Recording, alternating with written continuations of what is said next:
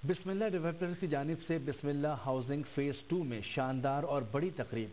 पाकिस्तान के सबसे पुरकशिश dancing fountain का अफ्ताह कर दिया गया। देखते हैं तारिक जट की रिपोर्ट बिस्मिल्ला हाउसिंग सोसाइटी के रिहायशियों को बेहतरीन सहूलियात के साथ साथ तफरी के मौके फराम करना बिस्मिल्ला हाउसिंग सोसाइटी का अवलीन मकसद है। Bismillah housing society phase two main Ferozepur road पर खूबसूरत और पाकिस्तान के सबसे बड़े डांसिंग फाउंटेन की इफ्ताही तकरीब।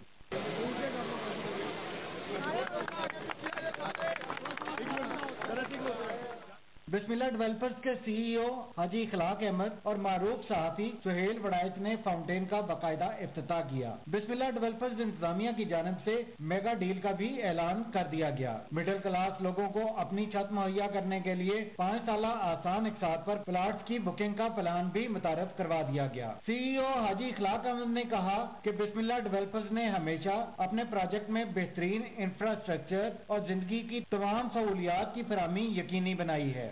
इतनी देर में हमने ये डेवलपमेंट की और लोगों ने तकरीबन अस्सी नब्बे के करीब घर बांधे हैं।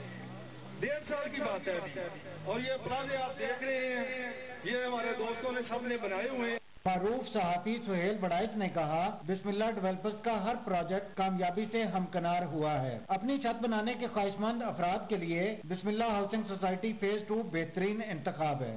फाउंटेन जो है वो है और लोग पाकिस्तान से दुबई देखने जाते थे। तो ये अब खुशकिस्मत है कि यहाँ आपके इलाके में, आपके शहर में एक डांसिंग फाउंटेन आ गया है तो आप इसका नज़ारा करेंगे।